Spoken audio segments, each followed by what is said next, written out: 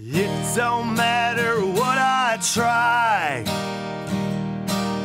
I just can't win and I don't know why. There's a fork in every road. I pick the wrong one and then I go. American loser, yes I am. Disenfranchised from everything. Well, I fall up and I fall down. An American loser the day I was born. Welcome, everybody. We're back to American Losers, the podcast that put the spotlight firmly on second place. Due to the coronavirus, we'll be wearing these masks during the entire episode here. This is for your sake and the safety of those in the studio. Mike and Ming taking great. I can't do it. I can't keep up with that one. All Don't right. spit on the mic. Cap. Don't spit on the microphone. Uh, coronavirus scare 2020. It is what it is, guys. But uh, Kahuna's got a face on right now. I'm enjoying that. Yeah, I really do. I mean, it was gr- it's great seeing you guys, but like, I'm not risking getting sick. Yeah, uh, it's weird. They built a booth. he hasn't come back from behind the glass wall. Instead, we have a puppet in studio today. Uh, essentially, everybody. It's, it's little Kahuna. yeah, this is uh, concerning. We're we're being um, we're podcasting live from a shared universe podcast studio in Eatontown, New Jersey. Mike and Ming Duke, you guys take great care of us. I don't know what happened here. They've they've built this weird glass facility. It's almost like Independence Day when they're investigating the alien that they captured. So uh, we feel like um, Kahuna's in the Bill Pullman side of the glass, and my father and I are now going to be wearing Right. our yeah we're putting on our Breaking Bad outfits, and we're going to go in and investigate. When, when you have the sneeze guard over the salad bar, that's one thing. That's I'm adjusting over the the, entire studio. I'm adjusting the knobs using those stick out gloves through the fucking There glass. you go. like you're handling nuclear material. Yeah. Nuclear waste. Oh man. Well, it is what it is. Hopefully, um, we learn. Um, uh, hopefully, the, the panic subsides here as we go. And if anybody's actually legit affected by this, I know South Beach Larry came all the way up from Florida in order to play in a couple of bagpipe parades that are just not happening. yeah. right. Canceled. I'm losing gigs left and right too. I mean, I if you you count all the gigs I've lost at, I've lost at least twenty eight dollars worth of appetizers. Um, so Th- Three film sets I was supposed to work on gig? all got canceled. I believe, dude, it's it's we're in full panic right now, man, and it's um it's great too because then I finally took a job that requires me to use the Port Authority almost every day. So Yeah, I would just like to say though too that for those that have lost loved ones, that's uh, that's small potatoes. Comp- you know, we're complaining about small things that Comparatively, for compared sure. to what other people have gone through. So yeah, we also don't know. In about three weeks after this podcast, it could be that this is what's wiping out the human uh, race, and we're just sitting here laughing about it and sharing jokes. Welcome to American Loser, your best podcast in face of the apocalypse. there you go. if you're gonna end the world, uh, why don't you Smile going out. Yeah. but you know what? Let's uh, let's say one thing though. Podcasts can still be enjoyed in any variety of mediums, and uh, if I cough during the episode, it doesn't get on the audience. So let's enjoy Right. this if we can. All right. Uh, by the way, for those curious, uh, uh, as of right now, my show uh, on Friday, which is tomorrow at Characters in Sloatsburg, this episode will not be out. But as of right now, I do want to give those guys credit for still having the show together. So, um, we got a killer episode this week. Um, Kuhn, are you familiar with? Because we do. Did you call it a killer episode because of the virus or because you- there's actually like it's got puns. like Oh, yeah. because I was looking at you, I was like, did you do that purposely? No, no, I couldn't uh, tell. Killer's one of those words I just use all the time, man. It's a it's a filler word for me. It's um, not quite as bad as uh, uh, not for nothing. You know, KP, that doesn't make me feel any better. That makes me a little more concerned, to be completely honest with you. But who are we talking about this week? We got a good one, bud. And it's uh, are you familiar with uh, on the show in the past? You've been with us since episode one, all right? Which was uh, you know, Sorry. our, our boy Grover Cleveland. Um, Way back when you Grover. know it. Yeah, oh, coming up on two years. Um, Yeah, but going to a Grover was a different Grover, but that's all right. I'm the president. but um, no, so today's a good one. Uh, they're all good ones. I like to feel, but this one is uh, is interesting because it actually takes place in the relative modern history. Okay, we don't do too too much here. Uh, we like to we hit a lot of Gilded Age stuff. We hit a lot of uh, revolutionary stuff. We were on a Wild West kick recently. Um, the 19 the early 1900s fascinate me and people it gets skipped over a lot because it's just like oh yeah there were two world wars and a depression you know so uh, people kind of skip over that sometimes but uh, today we're going to go into something where Uh, my father, as a historian, is great with um, his uh, his uh, you know references, if you will. Living We- history. We now have uh, this is something that the South Beach Larry lived through. So, uh, and this is because I know you're going to have relatives that live through this as well, Cahoons. So, Really? yeah, this is a For good the one. time period, anyhow. When did this occur? Uh, well, t- this week we're going. to This is our most modern topic ever, which is uh, funny because um, people have this complex. I'm sure you're familiar with it, where uh, there's the idea that uh, in my head, the '90s were 10 years ago. You know what I mean? So now a lot of people have it in their head where the '70s is 30 years ago. Is that fair, Dad? Yeah, well, that's a little more than that, but yeah. well, it's actually about 50 years old here, this topic, uh, but it's still one of our, I believe it is our most modern because technically the most modern one we did was a, a, a lost episode, we'll call it, about the Bay of Pigs, which we'll probably try to put another one out for. But uh, we're hitting a wild topic today a bloody fight on the streets of New York. And yet, uh, Bill the Butcher and gangs of New York are not involved, nor are the Sharks nor the Jets, Dad. there you Or go. the right. Warriors? Or the Warriors. It's a They have not. They have decided to not come out and play.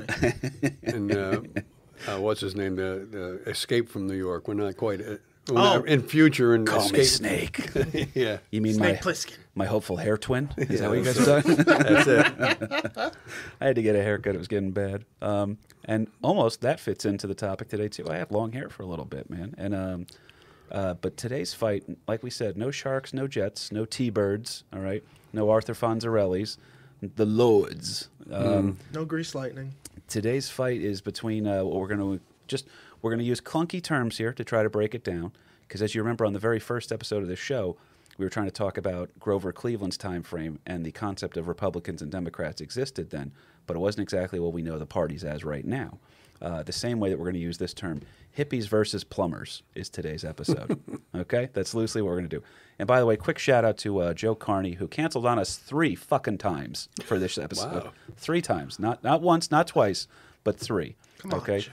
what do they say in baseball cahoons three strikes you're out baby. All right? So joe carney put his name on the list. Now tear no- it out. You are no longer welcome. Write his I name shall down on the book. your No, spot. tear out the page. so and then we were going to bring joe fernandez in but uh, he canceled due to probably having a donut and then needing to take a nap from it. Um, joe has diabetes undiagnosed. Let's be honest guys. So entering into today's loser the hard hat riots in new york city 1970 baby. Cahoons have you ever heard of this? No, no, I don't think I have actually. All right. Well, Captain Zeitgeist here to my right, old old South Beach Larry, wow. is, All right. is going to unpack this here for us. Uh, Dad, lots of there's a lot of stuff going on in America, specifically in the New York, New Jersey area in 1970. Wow. So, uh, first of all, where was South Beach Larry at this time? Uh, in 1970, You know it. he was uh, going to that highly acclaimed Institute of Higher Education known as Trenton State College.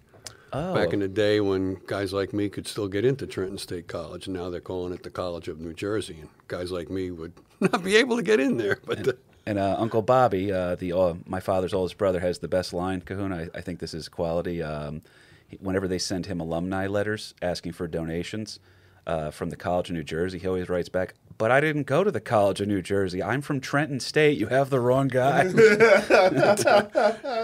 yeah, that was a uh, it's a Burke uh, uh, thing that uh, all three of us, uh, my my two older brothers and I, we all went to uh, Trenton State, and we all became industrial arts teachers, which uh, is loosely called shop teachers. But uh, yeah, there's a genetic flaw there somewhere. But You It what have, it uh. You have that engineering quality to you. There and, you uh, go. And by we also hands-on doing stuff. Yeah, well, uh, you're not covered in as much of it as I am because I had to hold. Um, I'm not as I'm not skillful at all with this stuff. I can I can hang on a job site. I don't screw anything up, but I'm not good that way. We were hanging dry, uh, drywall all day today at uh, my new place in Old Bridge, and um, LP was just doing the work, man. And uh, so you're 1970. You're attending Trenton State. What's going on in the nation? In the nation, uh, Because you're of a certain age at this time. Uh, yeah, there, there's there's a lot of things going on. I mean, we're, we're just came out of the '60s, if you will. So you have the uh, the counterculture that has now become labeled as the hippies. Um, you have um, all kinds of civil rights demonstrations going on. It wasn't more than two years ago, prior to uh, this event of the Hard Hat Riot, where we're having rioting in the streets. Um, we have a This number. happens. The, the whole events today happened within the span of a month. Not to cut you off, but just to, to say that's how fast shit was moving Oh, around le- this time leading up to it, yeah. But I mean, the the ten years of the decade leading up to it. Oh, yeah. There's all there's all kinds of things going on. I mean, we have the uh, the draft lottery is reinstated from the first time now since before uh, the Second World War. Well, that's because I'm asking is that you're a um, you're of that age at this time. You absolutely would have been of absolutely. draft age. That's absolutely so. Um, I'm, I'm of draft age. My first year in college, I was a freshman. I was a young freshman, so I was not involved with the first lottery, which took place on December the first in 1969. Um, what was the the lottery? Um, there will be tablets put into this big hopper. It's almost like a, a giant bingo game kind of a thing. Uh, 365 days of the year, um, and that, they would be drawn out, and those would be the first guys that would, if your birth date fell on that particular capsule, if you will, um, you would be number one in the in the draft, and then so on, two, three, four, as they were pulling these various dates out of the hopper. Um, at that time, if you were probably under 150, real good chance that you're going to be sent off to Vietnam. You're going to be drafted and sent off to Vietnam. So the Vietnam is is raging. Um, we've been involved with Vietnam since the uh, Eisenhower administration, really, followed by the Kennedys, and now we're into Johnson. And by 1970, we now have uh, President Nixon. Well, why do we care about these countries on the other side of the world? Is there some sort of a, a perhaps a, a, a fear mongering type of tactic, or are little people getting nervous about some stuff going on over there? Some political unrest, perhaps? Yes, I mean that, that's really hard to look at 1970 just as 1970, and how how could people be so polarized without backing it up a few years? Um, and that really goes back to the close of the of the Second World War, where um, the Soviets are taking over uh, Eastern Europe.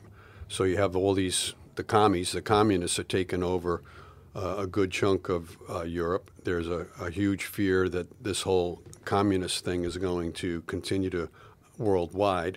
Uh, as a U.S. citizen, we've uh, um, we have seen communism spread throughout, um, right into you know 90 miles off our, our shores with uh, with Cuba and Castro. That uh, he was he was getting Soviet backing. Um, a- as a kid going through grammar school, uh, we're also going through a thing called the Cold War. That as a grammar school kid, you're taught how to duck and cover. That was the, the big thing that you know the the Soviets were going to be dropping nuclear bombs on us, and the nuclear arms race was fully fully on. The Cold War was just a wasn't really a shooting war, but it was an escalation of of, uh, of armament all over the world between the Soviets and the United States or the uh, allies of the United States. We see all kinds of stuff going on in uh, in Africa, in the, in the Congo. Um, I mean, there was flashpoints all over the globe. Um, back the- Weird because we already had the war that ended all wars, though, Dad. That's yeah, kind of well, weird. We had two of those. I mean, we, the the war the war to end all wars was the First World War, and we didn't really put a number on that until the Second World War broke out, and then the war to end all wars, or the Great War, now became the First World War, and then we have a Second World War. And as I say, these various uh, superpowers are dividing up the globe with, uh, you know, the, the democracy versus uh, versus um, communism. So there's a, a huge, uh, huge anti-communist feeling. Uh, we got McCarthyism going through uh, the 1950s. There will be another episode of this show. A Uh, couple, couple people have messaged me and asked. who's accusing, you know, he, he was a senator that's accusing um, Americans of being communist defectors, if you will. Um, in uh, the space race is going on, there's a nuclear arms race going on. In 1957, the Soviets launched the first uh, satellite called Sputnik, and that was a huge uh, game changer for the whole space race because now there's a huge fear that these Soviets are going to be putting these satellites up in the sky that they'll be able to drop bombs on us from from outer space. So we better start playing catch up. Put the first man in space too. Uh, they they certainly did put the first man in space. name? So we were we were uh, uh, no, I can't remember his name. Yuri A. Gagarin. Yeah, thank you. I did a Gagarin. report on him in fourth right. grade. Okay, well there you go. Um, but you know, there's a, a space race. Um, Eisenhower, uh, President Eisenhower, who was a very popular president. I mean, he was the guy that was in charge of the Allied forces for the Second World War, so he's a returning war hero. and they put him up for a nomination and easily wins the presidential election. That was your favorite president, by the way. If you remember, I had to interview you for a college class to ask you who your favorite. I don't president- remember that, but You said uh, you said Ike. You were you, I, I was a little kid. What what do I know about it? you credited him for the uh, the the highway. Uh, the Oh yeah, interstate but the highway inter- system. interstate highway So- system. Yeah, but Ike. I mean, one of the big things with our interstate highway system with Ike was uh, he could see as a uh, you know, the commander in chief, if you will, from during the Second World War, the need for greater transportation, and actually the interstate highway system was developed so that you could land planes on on the interstate if need be as an emergency airstrip. So I mean, he was he was no fool, but but prior to that, I mean, during the Second World War, the best way of transport was Aim for ra- south of the border. We're going down. yeah, uh, yeah, go- going down to the Florida. We'll aim, aim for the uh, south of the border stop off. But uh, um, but that Sputnik thing again back in '57, that was huge. That that really got people riled up. That we got to we got to beat these commies to outer space. Uh, Kennedy is elected. Um, he prompt or he vows that you know we're gonna we're gonna win this space race, and not because it's easy, but because it's hard, and we're gonna put a man. You know, we're gonna be the first to put a man on the moon. So, you know, well, a lot a lot of money is spent on that. Kennedy is assassinated in 1963. Uh, we had. Uh, uh, well, we had a Cuban before before Kennedy really comes in. There's a Cuban Revolution in '58, um, which puts Castro in charge. You know, he over, overtakes the U.S.-backed government um, in in Cuba. Um, so now he's a revolutionary that takes over Cuba, and and he's a, a dictator um, in '58. So the If U.S. the Mets had just signed him to Huh? that. If only the Mets had signed him. You know, he was a prospect, right? Yeah, he You was. Think about how many he was a pretty decent baseball how many player. lives could be different. if Right. The, the Mets just really ruin everything. It's Kennedy tries to overthrow um, the newly formed Castro government uh, with a, a boondoggle called the, the Bay of Pigs, where they were taking uh, Cuban exiles and training them, and they were going to invade uh, invade Cuba and take it take it back, and that was a a boondoggle of the worst kind. Uh, that leads up to the Cuban Missile Crisis, so where now the Soviets are bringing their missiles and putting them in place in um, in Cuba, which would have been able to strike uh, most of the eastern part of the United States. So you know, uh, Boston, New York, Philadelphia, Washington D.C. I mean, holy crap! And it's only 90, 90 miles off our shore. Kennedy is assassinated in 1963. So I mean, it, it's rough times. There's there's great achievements. Um, you know, Kennedy brings in the Peace Corps to try to uh, bring that. I mean, there's a lot of firsts. That there was a whole wave of uh, spirit of, of you know helping out the rest of the world with the Peace Corps and everything else. That we were going to win the rest of the world over to democracy by what we can do for people rather than uh, the totalitarian government of the Soviets. Kennedy is assassinated in 63. Um, there's a whole uptick in civil rights movements. Martin Luther King is making uh, making some drastic uh, moves forward. Martin Luther King, um, we got to address the one thing here too. Kahuna's wearing an MLK shirt right now too. So for, for those who can't enjoy the, Well uh, the visual side of it, well done. Keep going though. I'm sorry. Not purposeful, by the way.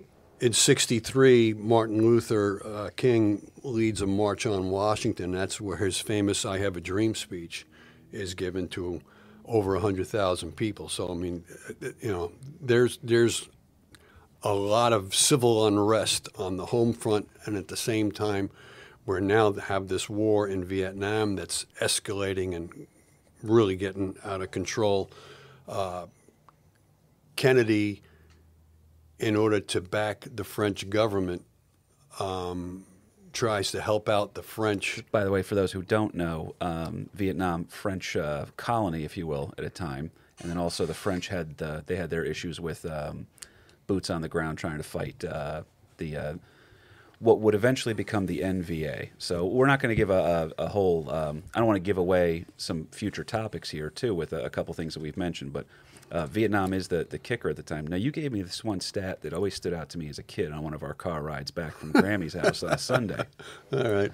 Sitting in the back of a Mercury station wagon, There you go. looking into oncoming traffic. That's how you always want to see it as a little kid, you know, hoping people stop. Um, but uh, anyway, um, we had one conversation where you were telling me because I asked you, I said, if you did you think about joining the military, and you said that you had some feelers out there, and you spoke to a couple of people maybe, and but there was one thing that um, this draft would would really screw people up with. First of all, if you couldn't, it it was low income kids that were getting sent over for the most part that couldn't get out of the draft. But now also uh, ULP, it's always interesting to me because um, you pointed out that you said, well, I could either go in, I could either leave college and go in, and I'd be a grunt. You know what I mean? You go in as enlisted, which is what I was in the Navy, or you could finish your degree and then go in as an officer. But the NVA, the, the you know the, the forces we were fighting against in Vietnam, uh, they were so they were a smart enemy and they were fighting this. They were very good at guerrilla warfare. That you once told me that. Uh, engagement time uh, for an officer if you were coming in as a second lieutenant and you had that bar on the back of your helmet Right. that was you might as well You're have painted a bullseye Right. kill the officers Um, and then the, the grunts kind of lose so the an officer gets killed quicker It's essentially how you right, broke it down Right. They're the first. They're the first to go. You're Yeah. going to you're going to be the number one, the prime target. I mean, even in that movie, um, Forrest Gump.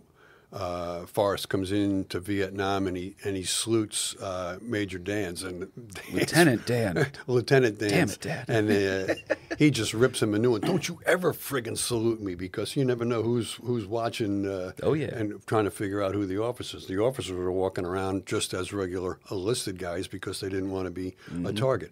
That even goes back to to Grant during the Civil War. Grant is often photographed in like a private's uniform because he didn't want to have uh, any any uh, decoration on his uniform to uh, show a potential sniper that hey, that's the that's the big cheese. That, and you meanwhile know, Robert E. Lee uh, I have, where's my red sash I Yeah. need my red sash it matches my horse damn he's it my you know you pick out the officers, shoot the officers first.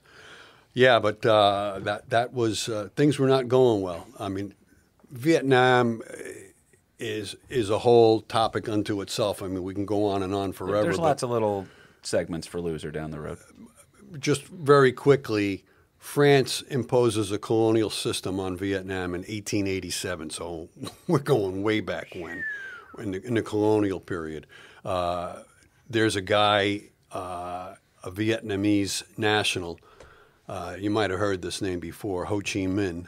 Um, oh he won last comic standing not sorry that's Dat Phan Dat Phan I'm thinking uh, Ho Chi Minh is a Vietnamese national, and now he wants to liberate his country from the French. I mean, the French are imposing colonial rule on them.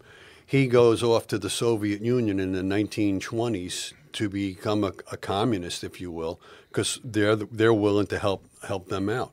Um, because France is really a, a democratic type of government, so uh, the communists are against the French. Uh, Ho Chi Minh finds the, uh, founds this Indo-Chinese Communist Party. Um, 1940 rolls around, Nazi Germany invades France, so France is not able to defend its uh, colonies. So the Japanese, who are allies with the Germans, uh, invade Vietnam. So now the Vietnamese have been fighting the French, then they were fighting the Japanese, who took over their country. So By the way, if you're at home and you're confused, you should be. None of this shit makes any sense. It's it's this is wild times. Yeah, it, it's wild times. So I mean, but it, it, it, it is all factors into how we got em- embroiled into the Vietnam War because we promised that we were going to help out the French. after the war, um, the at a Geneva Accords, Vietnam is divided in half. There's North Vietnam and South Vietnam. Why? Well, and then a, a promise that there was going to be democratic elections so that the Vietnamese people could figure out on from on their own as to which way they were going to go. Eisenhower gave a little speech when he was in office um, that was termed the domino theory. That it was by Eisenhower's opinion, and it was a very popular opinion, that if we allow the communists, um, you know, if, without bucking the, the communist kind of a thing, that they're going to take over. That if Vietnam falls, then Laos is going to fall, then Cambodia is going to fall, and then all of Southeast Asia is going to fall. So that if one government start, starts to topple and starts to go to the communist side, that then they're all, they're all going to go communist. So, in order to fight that, Eisenhower promises that they're going to help out um, South Vietnam because Ho Chi Minh is now in the north. That the North Vietnam is going to be communist, and South Vietnam is going to be democratic, with U.S. backing. Uh, that that first uh, that first government, if you will, um, very very shaky. As a matter of fact, I think they had 12 different, with various military coups and everything else, they had like 12 different regimes within South Vietnam within a very short period of time, within like maybe six years. It was like, uh, you know, who's who's who's on uh, well, whose batting order is it today? Well, it Um, sounds complicated, so that's probably why uh, it wasn't um, a resounding popular thing here stateside, and maybe why a certain college-age Larry Burke was debating whether or not to get involved. Yeah, um, and you have a draft lottery going on that uh, people are going to be uh, called up to join join in in the fun in, in uh, Vietnam. Very unpopular. Question: Do you have any friends that uh, get drafted? Oh yeah, absolutely, absolutely. Neighborhood kids. I know you told me that much. That's, and what you were speaking of earlier too. Now here I am, you know, Freddie freshman in college, and at that point the war was not going real well for for us by any stretch of the imagination, and things just keep escalating and escalating. That um, I think it hit over 500,000 guys were now in uh, South Vietnam through the various military buildup, and they're still looking for more. And things were not going. The more we build up, um, the stronger and stronger it seems that the Viet Cong or the, the communist forces fighting against us are getting. We still don't know the the number on the uh, uh, Vietnamese uh, enemy combatants that were killed. That's how much of a chaos shadow war Yeah, kind of a thing it was. um, you know, Ho Chi Minh and, and then his his followers, the ones his uh, predecessors, um, they just kept coming and coming and coming, and these people wanted, you know, wanted to be their own their own country. But, um, you know, and it, um, as I said, between '63 and '65, so within like two years' time, there was 12 different governments take the lead in South Vietnam. Holy So, I mean, holy crap, right? Um, and yet we're still going in there and trying to support the latest government. Uh, as long as you promise that you're going to be democratic, you know, we're going to continue to back you and pouring in, you know, how many lives were lost um, um, and money spent on this. Um, then, uh, you know, uh, Kennedy is killed. Kennedy is assassinated. Johnson takes over. And now you got a president that's trying to fi- win a war in Southeast Asia, and at the same time, he's got a lot of troubles on the home front. It seems like everybody is protesting. I mean, the blacks are protesting. The Indians are taking over Alcatraz that they're protesting um, for their rights.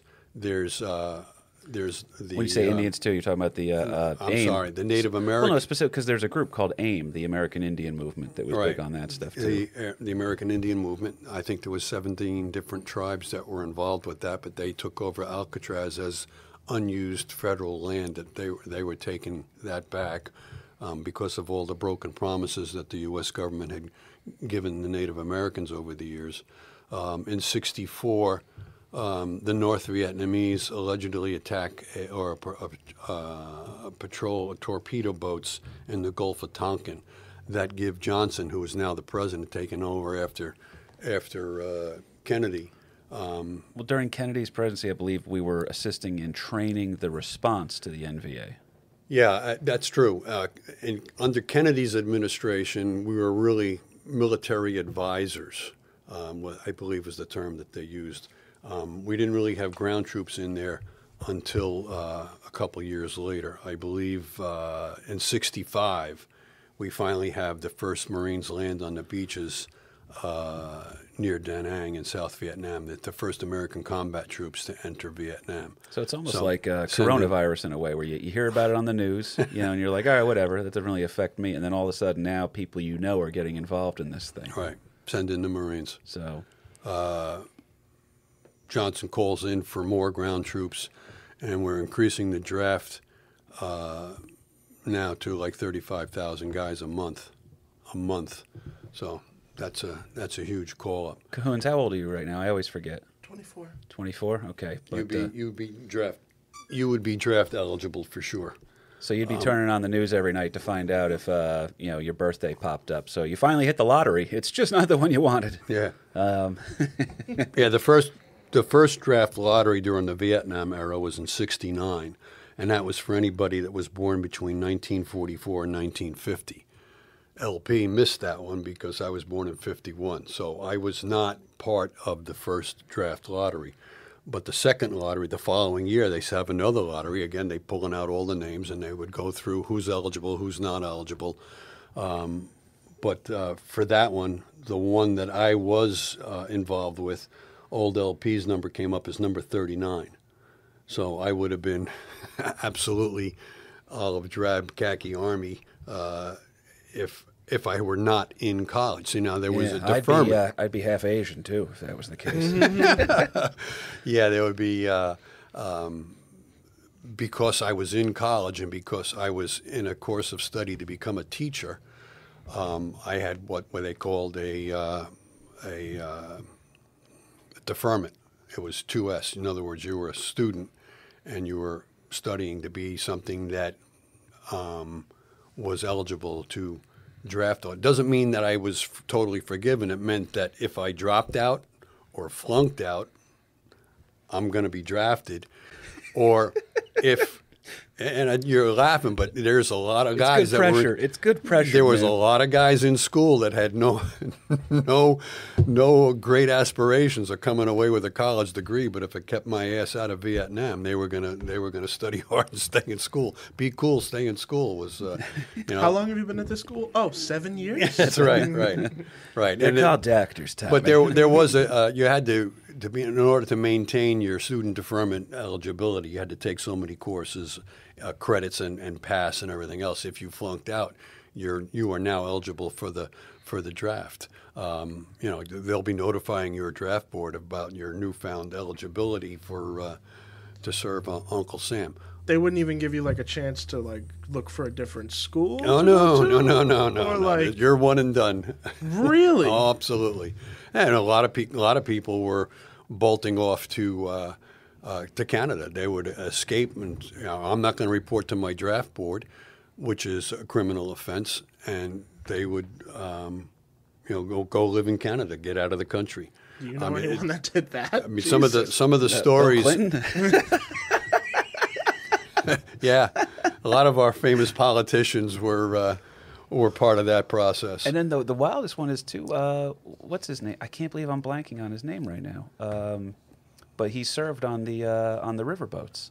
Um, so- Kerry. Yeah, John Kerry. So he, the, the, you got there's a whole mix all around with that stuff, man. It's now the other move too.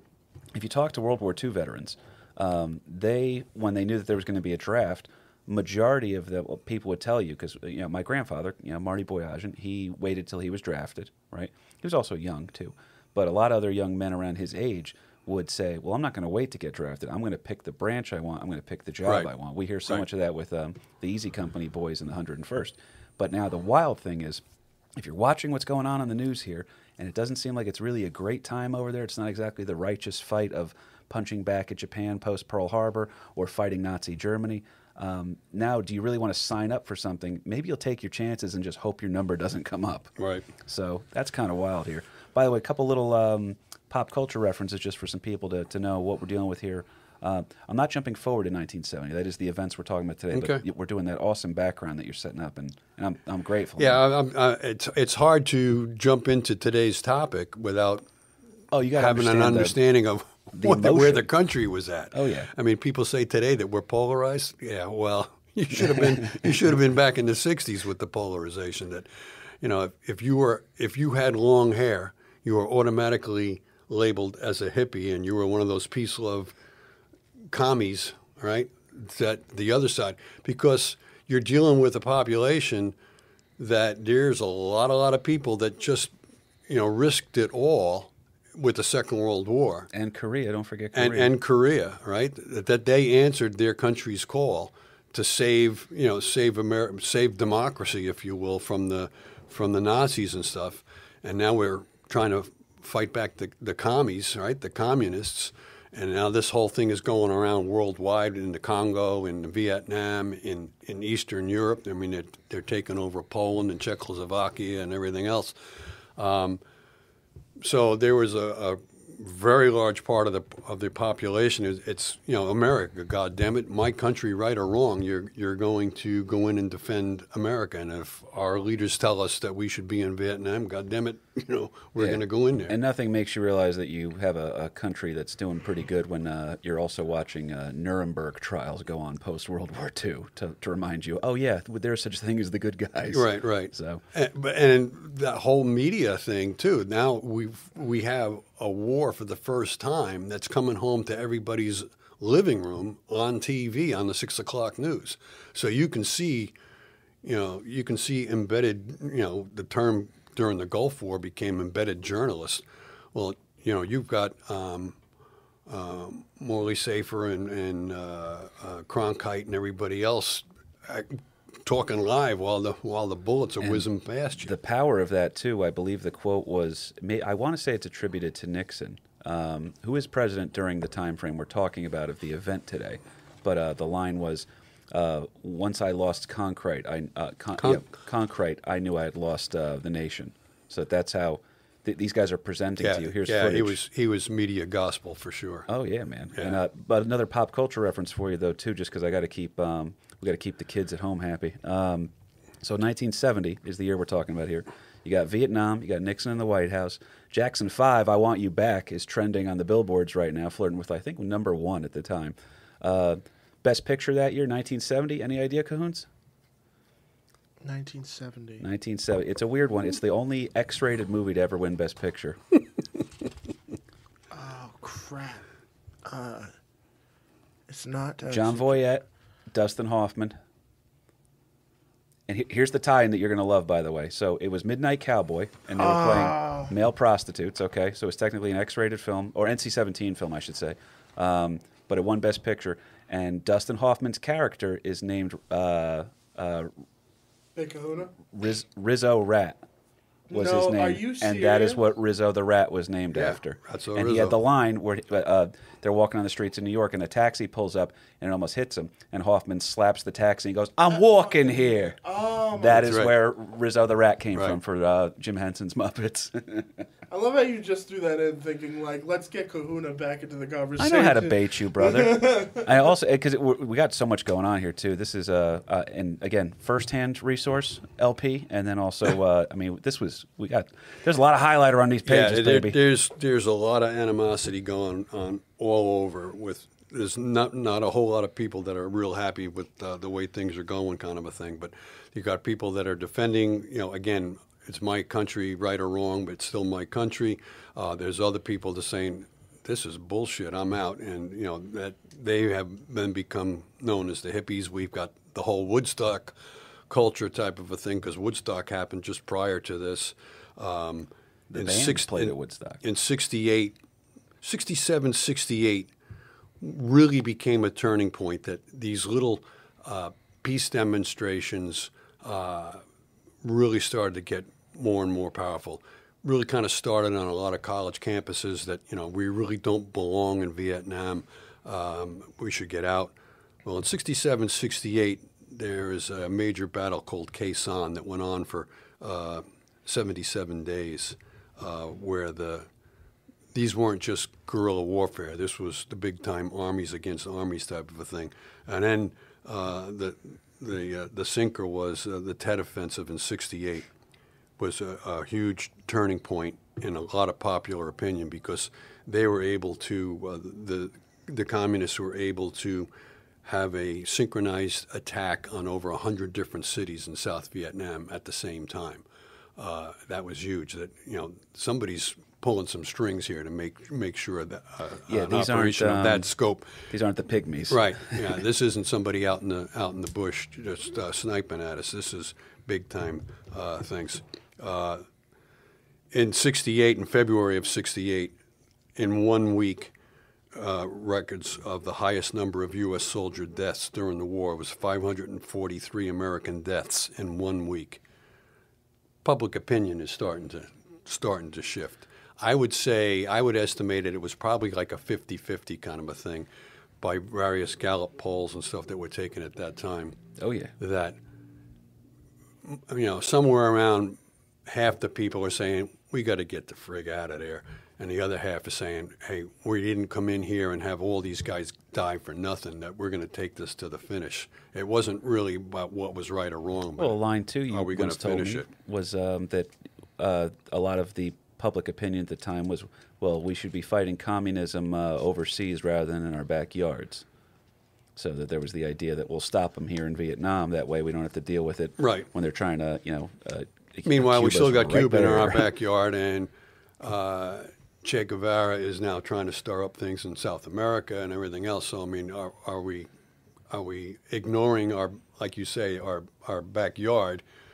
Why do we need to go all the way across to the other side of the world to uh, Southeast Asia? To Yeah, you don't want to poke your head out one day and be like, "Man, the neighborhood's gone to shit." yeah, really. So there's one particular event that, that spurns all this, or, or, or spurns maybe is not the right word. The the genesis point for today's topic. So I don't want to say it because everyone's going to know it for the most part as soon as they hear it. But is there any other background you want to give before we hit that that infamous thing that perhaps there's a very famous song about by one Neil Young? Oh, yeah, well, Johnson sees the war is not going well for us. And he's and Johnson, President Johnson starts to see public opinion starting to go against this. The American deaths are mounting and everything else. And he vows that he's not going to run for reelection. You know, that if nominated he assumed the office. Huh? He assumed the office at, upon the death of Kennedy. For those that don't right, know, Okay. right. But he does, he's not going to run for reelection. Um, and um, really a, another uh, peace candidate, uh, McCarthy, uh, not McCarthy. Oh God, I'm losing it. But anyhow, uh, apologies. I worked you hard today, dude. Apologies. Um, uh, Johnson is not going to run for reelection.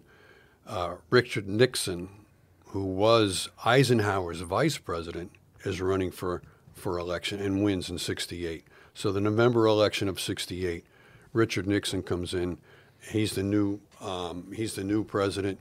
He runs on a campaign promise of law and order because the country is going to pot. We've had all kinds of uh, race riots. We've had all kinds of demonstrations. We've got all kinds of uh, war um, war protesting going on in various college Got your campuses. Jersey tie in here, by the way. I promise to to not be corrupt and be an asshole, as I obviously do not have my hands tied behind my back. See, this is where Kahuna's got him from the pop culture because that's how he's remembered. But also, t- real quick, our only Jersey tie-in today that I think we had, buddy, is Really? the only one we have for this is because it all takes place in New York, the event we're going to cover. But uh, the only Jersey tie-in would be one of those infamous riots that you're talking about. Oh yeah, the, the Newark riots. yeah, but that wasn't just in Newark. That was a, across Global. the country. But the, the Got down to St. Augustine, Florida. The two most damaging riots, the, the worst um, teardowns, if you will, was in Detroit and our own Newark, New Jersey. Um, Yes, sir. They were they were the, the two most damaging riots that took place. Um, so anyhow, where the heck are we? Uh, he promises. Nixon, uh, is is coming in. So I mean, a lot of the a lot of the old schools are seeing this is that Nixon is running on a promise um, that he's going to end the draft. So he's he's trying to pull that one off, and he's also going to restore law and order. Then we're not going to have all this rioting in the streets, and we're going to, you know, we're going to go in there and break some heads if need be, but we're going to restore law and order. um, which became a very, you know, it still remains today that law and order is a, is a, top, a topic that everybody hopefully can get behind, kind of a thing. So anyhow, uh, he runs on that and wins in '69. All right, so uh, '68. Now in '69, things are still not going real well, but in May of '69, uh, secretively, uh, although he he ran on a promise of scaling back the war, he goes into Laos because Laos, La- I think, Laos, depending on how you want to call it. So, just a couple of Jersey kids here Yeah, trying to talk history. So What we I read good, you? but we don't talk no good. No, that's right. I don't learn that Mm-hmm. Isn't good. that part of the charm? that goodly English. Laos, um, now Laos was bordering Vietnam, and the North Vietnamese were using that neighboring country as kind of a thoroughfare. Although they were technically neutral, Right. they were um, allowing the North Vietnamese to come down and resupply and bring troops and everything else on something that was known as the Ho Chi Minh Trail. So, in order to try to stop this, and they were also setting up uh, um, camps in Laos um, that would then go into South Vietnam and attack South Vietnam from, from the neighboring country. Although Again, that's the civility handcuff, if you will, of a, a, Right, are attempting right. to fight a clean war with a guerrilla type. a guerrilla uh, warfare, yeah, right? So got- ain't gonna go good. Right. Not, not everybody's playing war, but with by uh, the same rules. Um, so um, Nixon orders um, bombers to go in and, and try to knock out some of these things uh, in May of '69, and then. Uh, um, actually, he then secretively sends in troops in, into Vietnam, uh, excuse me, into Laos. Um, and now, what is he doing? He's not scaling back the war in Vietnam, he's broadening the war in Vietnam. And although there have been a lot of different um, um, peace demonstrations and everything else prior to that, that just sets people off once again. Oh yeah, big now time. we're bombing a country that's not even involved. Yeah, it's it's not a hard hard. Uh, I'm sorry, it's not a hard headline to write. Now, if you want to go into the nuance of the whole situation, that's where again everybody's always wrong because people get emotional, and as soon as you uh, attach emotion, you remove logic, and then people are getting pissed off on both sides. So it's like you said. Um, but Right. uh, so we're we're bombing Laos, and then in uh, um, April and uh, April through June of 1970, actually it started in April. U.S. and South Vietnam forces attacked communist bases across the Cambodian border. So now he's also going into Cambodia. So um, you know we're not shrinking the, the war in Vietnam; we're expanding the war in Vietnam, and there's a very large demonstration in Kent State. Um, he said it. We waited. We, we tried to milk it. How far in did we get? We almost got. I'm sorry. We're at least thirty something minutes until we. No, I wanted you to say it, but we wanted to milk this because as soon as we talk about this, it lends itself Right to the into- topic. right. All right, so- Kent State, You think that's enough background then? Neil Young, All right, four yeah. dead in Ohio. All right, that's the, that's the words to the song that uh, National Guardsmen uh, are are called in to put down the the demonstration that was going on at Kent State. Uh, that really was in protest of Nixon sending in um, troops into Cambodia. Um, now, this anti-war demonstrators, they certainly did get out of hand. There's no doubt. Well, if I can, if I can Yeah. just break down one thing real quick, because I, I want to hit this part, but I also I want to play up the caricatures of it, Cahoons, because there, there's so many people um, that uh, again, like I said, as soon as you get an emotional attachment, you tend to pick a side, but you don't have to pick a side.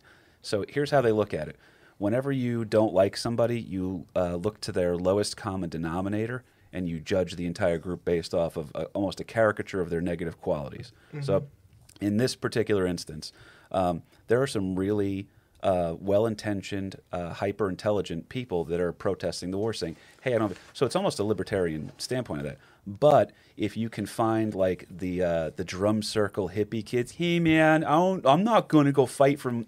No way, dude. I'm staying right here, man. You find those guys, and you're going to piss off the people who are in support of the war. Now, those people who are the hyper intelligent people who are getting yelled at and called cowards for not wanting to fight a war that they don't feel justified in are going to sit there and they're going to say, "Oh, let me guess, you're that." You're that classic racist bus driver or something like that. That's what you are, right? So they start developing these uh, misnomers, if you will, about the two opposing sides on it. So now in Kent State, there are the really smart people trying to show uh, the power of peaceful protest, but there's also like a hacky sack tournament going on, man. You know, dude, I heard the Dead's going to come play. Is that true? Are the I Dead heard it was coming true, here? man. It's, It was gonna be a great time. I wish Janis was alive, you know, to see it. They were gonna have Doctor Teeth and the Electric Mayhem come through too. So there's that, and then there's the uh, the Archie Bunker types on the other side. So if you really, if you want to look for caricatures to get angry about, there's plenty of foot here. Oh, yeah, so absolutely. Kent State, Ohio. Um, a lot of the a lot of the things that really piss people off to public opinion on that too is uh, Nixon sent in these troops. Uh, so he made this presidential decision of, of without notifying the Secretary of State William Rogers, nor the Defense Secretary Melvin Laird. dude, that's what. Imagine, by the way, you find that out that um, uh, Ming goes on Facebook to announce that the studio is closing, and you're like, I don't get a fucking heads up, and I don't get nothing. At least let me sell You know, this. give me a clue. Yeah, Oh my god. uh, and it Damn was it, Ming, I'm already mad at you and you didn't even do anything. So people in his own cabinet, Secretary of State and the Defense Secretary, they didn't they didn't have a clue about this invasion until Nixon addressed the nation on television two days later. That's how they found out when they saw Because Nixon Mr. on Mr. TV. Kissinger Yeah. was very He couldn't have given me a little, House. just a little nudge or something, or send me a text or something. Um, but anyhow, the, these these student protests at Kent State um, are getting out of hand, um, and then There's the peaceful the- aspect, then the- there's a little property damage. Right. So uh, a lot of the students go into town and they're tearing up the town. Um, the mayor of the town, the mayor of Kent, notifies the governor, and then the governor sends in the National Guard. The National Guard shows up. Um, and this was wasn't a one-day protest. It was like on a on a Friday or a Saturday. Then Sunday, everything was kind of cool. Everybody was just kind of hanging out and chilling. But then come Monday, um, there was going to be a big uh, rally on Monday. The National Guard comes in to try to break up the protest because it was deemed that it was an unlawful protest or an un- unlawful assembly, and shots are fired. The, the National Guard By the way, turn and fire is- into the crowd. Uh, as a sign of aggression, too, I believe I did read that they attached bayonets. So Uh, I'm not sure about that one. I believe I did read that one part correctly. There, there was also uh, a lot of uh, interaction between because there's almost. Remember we talked about this when we were talking about the episode.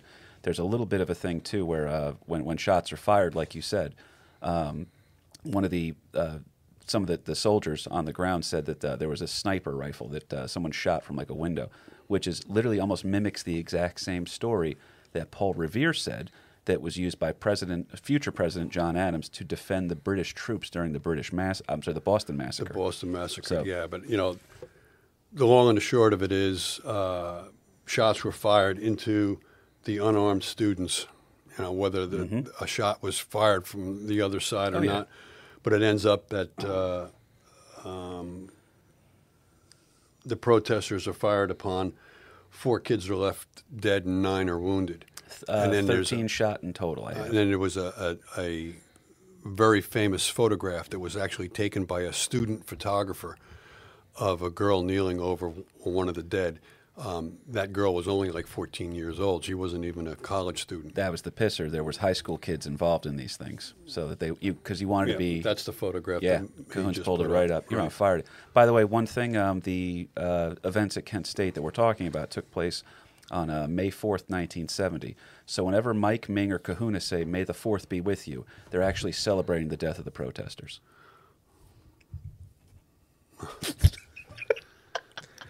I didn't know Dark what to. humor. I did. Jesus Christ, KP. Like I don't even know where to go with that one. Like first off, Right. you're an asshole. Secondly, you. you're an you. asshole. Right. In every sense of the word. Like Jesus, Please- man. I can't even like. Art. I can't, man. That was bad. Please don't Oh. blame the parents because I have nothing to do with that. Oh my god!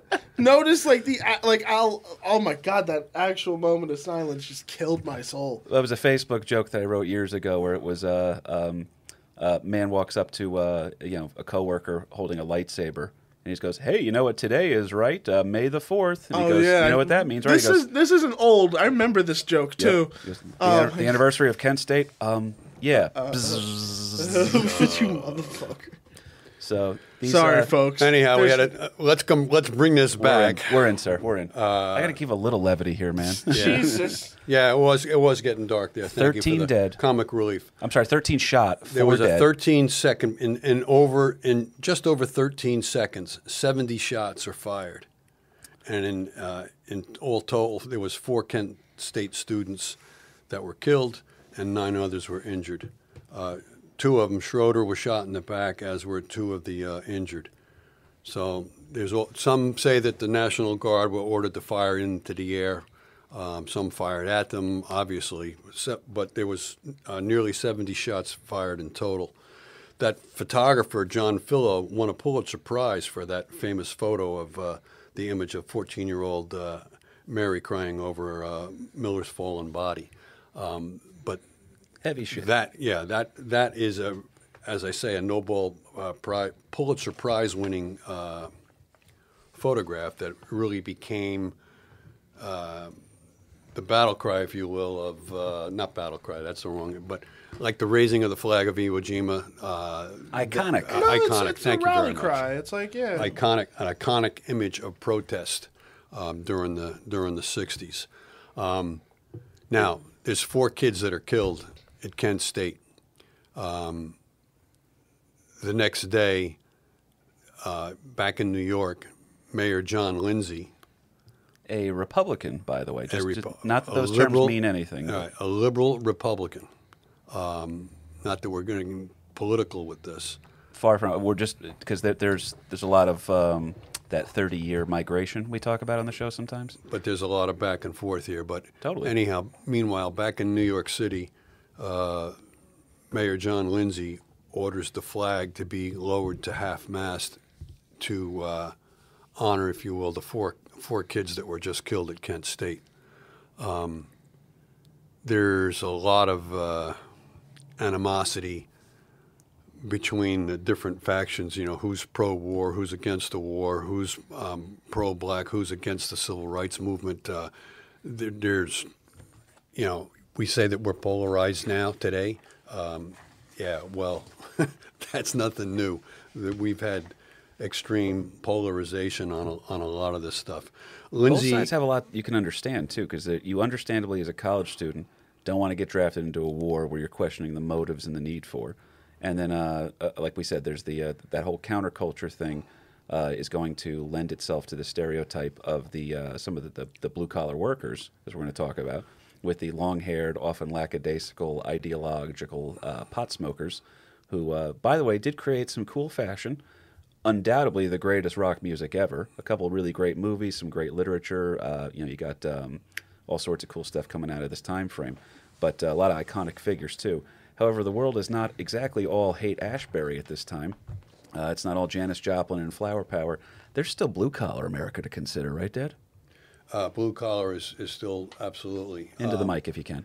I'm sorry. Um, blue collar is still absolutely, uh, you know, the, the working guy. Um, they were not the the labor unions, if you will, were pretty much pro-war because again, that's like old uh, old guard, if you will. Um, that it's my country, and especially when you start to have protesters um, burning the flag, that It's all about that. That was a Yeah. Mm-hmm. flashpoint. That was absolutely a flashpoint. That as soon as you start burning the flag, then you're not you're not protesting. You're you're making a, a statement um, about your country. You know, to some, all the all the government was doing was lying to us. That, you know, but the flag became the symbol, if you will, as to um, how people were fed up with uh, with what was going on with the government. But again, some people are actually leaving. Uh, one side would call them chicken shit because they're going off to Canada to avoid the draft. And the other side could be called uh, uh, chicken hawks because they were all of it in favor of the war but wouldn't go themselves. Right. So now, real quick, uh, this break we're talking about blue collar America real quick because we're setting we've set up the one side of this clash here because the clash is very quick, Coons. It's a very fast battle, if you will. All right, it uh, it lasts about as long as Tyson Fury and Deontay Wilder the rematch. Um, but uh, the unions in America have uh, been supporters of both major parties in the past, but uh, at the start of the unions, it would stem from this idea. Now, when I say this idea, we're going to think that it um, lends itself to um, almost a page out of the Communist Manifesto here that the quote proletariat, you know, the working class people, should rise up against uh, the big business interests, if you will. So, uh, back in the day, though, in order to form these unions originally, which here's your loserception for the week, baby, all right? The Molly Maguires, perhaps? Yeah, maybe a group of guys who that was literally that wasn't even workers' rights, that was human rights for them because they were being starved out of their own towns. Um, so that was the whole thing there. So you could um, the idea of this proletariat, like we're saying, it almost as a page out of Marx's book, but that doesn't mean that it's exclusively a communist idea. Okay, so but there's this weird thing that when it originally starts up that uh, the political components of the machines back then was the Democrats were the working man's party, right? So that would be the laborers would tend to be Democrats, whereas big business, so the uh, uh, Carnegie and the J.P. Morgans uh, of the world are going to be quote the uh, the, the big money uh, Republicans. So now in uh, 1970 here to set this table, that's over 100 years after these early U.S. labor movements have started. The majority of the skilled labor union members in America are going to be what, Dad? Democratic. Well, uh, they, they lean But- that way, but, but- there's an alienation going Right, on. because at, at, in this same period, there's almost like a, a reversal that um, Democratic pol- uh, politicos were really not favoring the labor unions. The labor unions became a very, very powerful uh, influence in U.S. politics. Um, so again, to try to keep this Republican or Democratic, the labor unions throw were, were going to become a, a this week, voting yeah. Bloc, right? A voting bloc that was a very powerful uh, voting bloc. Uh, let's face it, that uh, if you can promise, if you got 400,000 guys in your in your union, and you can promise that they're going to vote for a particular candidate, um, that's uh, a pretty positive uh, thing. I mean, The Irishman taught you a little bit that. Um, yeah, what a great movie that was, Right. Scorsese's Irishman. That um, just the way that Hoffa could deliver. I mean, he was one of the most powerful men in the entire country, and could he was it the head. Of, head of the Teamsters. So. Right. So now we're back in New York City. Kent State has already happened. Um, if we rewind just a little bit and stay within New York City, Mayor John Lindsay is elected mayor of New York in 1965, and he's classified as a liberal Republican.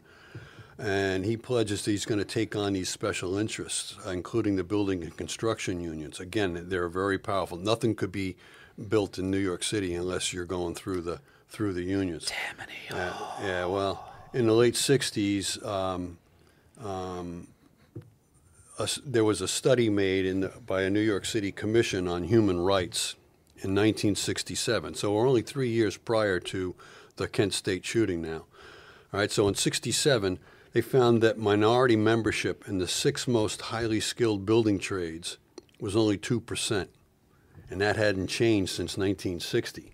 So, with all these civil rights demonstrations going on, you had the uh, the Stonewall riots in New York City, with the uh, which marked the start of the modern gay rights movement in the U.S. Uh, that was only the year before.